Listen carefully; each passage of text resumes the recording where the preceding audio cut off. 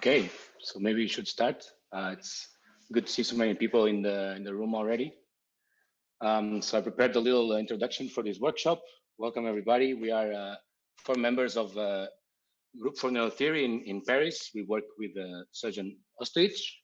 And uh, so today we are gonna uh, have the chance to talk about the dimensionality of, of neural activity. so when if one would have to decide which code to use uh, for some uh, representation, one would be faced with this uh, trade-off between using a high-dimensional code or, or, a low-dimensional code.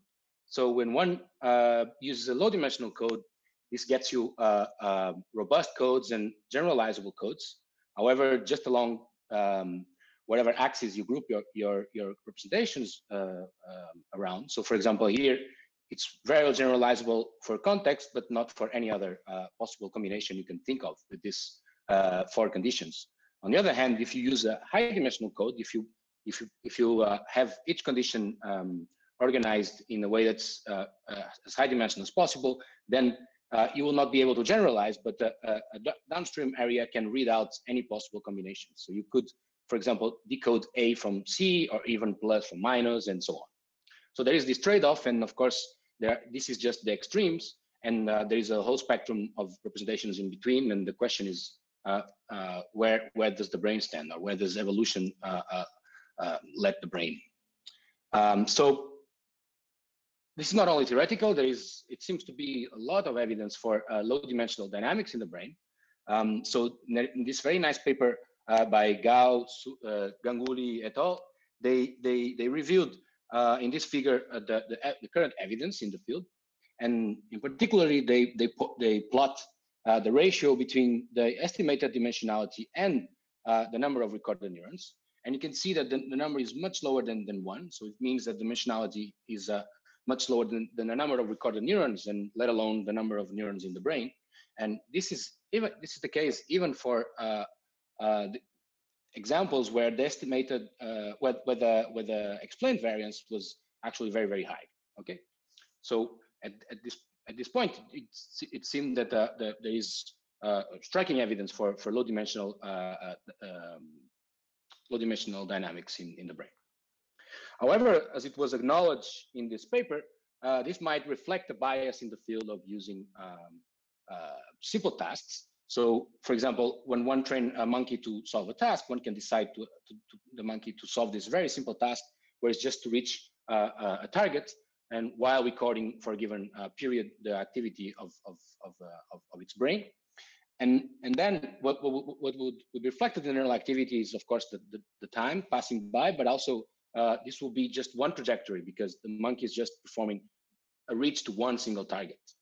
But if one decides to use a more complex task, for example, one where the monkey has to, to reach in all possible directions, then of course, these reaching angles must, must be reflected, uh, they, they must be reflected in the neural activity. And so this will uh, uh, expand the, the, dimensionality that, uh, uh, uh, that the neural activity is, is occupying. So you will, you increase the dimensionality by increasing the complexity of this task. unfortunately, there is not much evidence for this in, in the brains, as far as I know yet. but there is evidence in artificial neural networks by this paper by Friedrich Schuessler, who, who is a speaker uh, today. He trained uh, networks, uh, recurrent neural networks, to solve tasks of increasing complexity, and he found out that you you that these networks uh, need uh, higher and higher uh, space, so the, the dynamics span, span higher and higher space to solve these more and more complex tasks.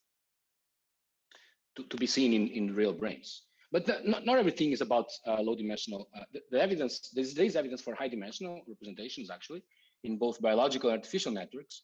Uh, one example of, of, of, such cases is uh, this paper by Carson Stringer, another speaker uh, with us today, uh, where they record from visual cortex while mice were seeing images, several images, and they found out that when they showed 32 images, the, so the space occupied by, by the vectors, each of them representing each of these images, was of 32 dimensions. But if they increase the number of images that they show the animals, the, this space was also getting larger and larger. So they, they, they got up to almost 3,000 images and, and they saw almost 3,000 uh, uh, uh, dimensions of this neural space.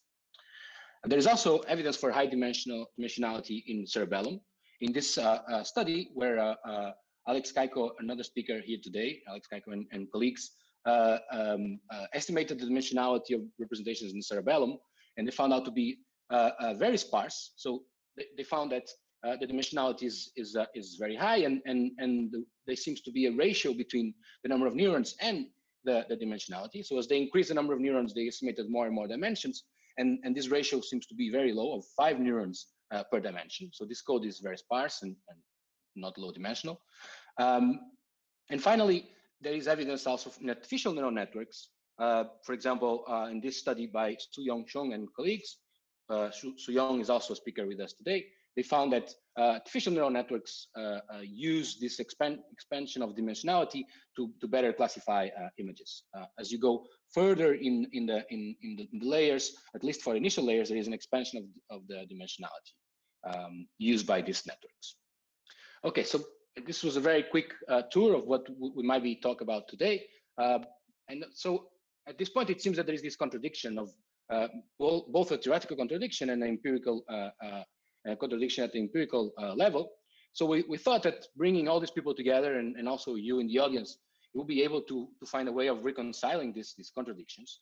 And so I will just give you two possible avenues. Of course, you can ignore and propose your own points of view as we go through the workshop.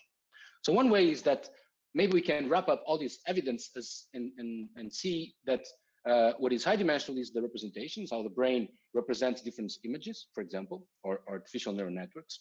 But then when the brain uses these high dimensional representations to, to solve a task, uh, it, it, will use low dimensional uh, dynamics. So um, when the brain performs computations on these representations, in the end, you, what it needs to do is to is to uh, have a behavioral output and, and after all, uh, uh, there's only an, a limited number of muscles, and, and this number is much, much lower than the number of neurons. So there has to be a collapse of, of dimensionality at some point.